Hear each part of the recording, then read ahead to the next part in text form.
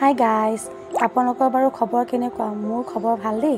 আজি কাতি বিহু সেইবাবে পাপাৰ সমাধিত আহি আমি চাকি বন্তি এগছ জ্বলালোঁ আৰু তেওঁ হৈ পেলাই অলপ যি বিহুত খাওঁ সেয়া তেওঁলৈ আগবঢ়ালোঁ। সকলোলৈকে কাতি বিহুৰ শুভেচ্ছা থাকিল।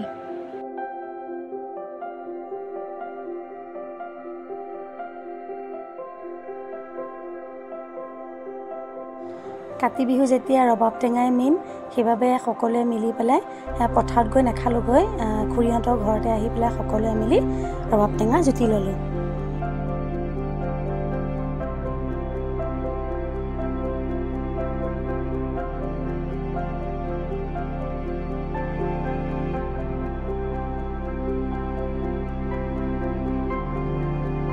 সন্ধিয়া সময়ত তুলসীৰ তলত চাকি বন্তি ধূপ সেয়া আগবঢ়াইছোঁ।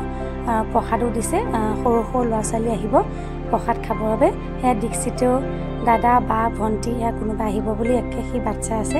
আইও টোপনি ধৰিছে ল'ৰাটোৰ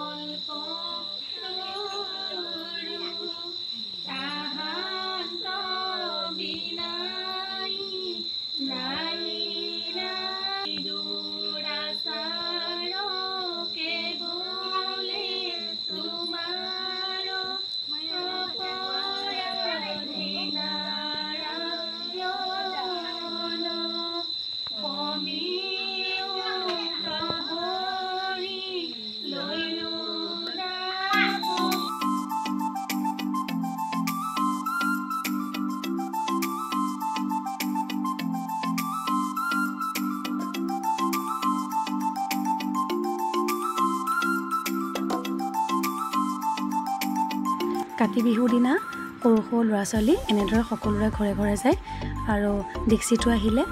দীক্ষিতকনো অকলে কেনেকৈ আহিব? তাক ময়ে লৈ আহিলোঁ। আৰু সেয়া খুৰীহঁতৰ কোচত উঠিলে। আজিলৈ বাই বাই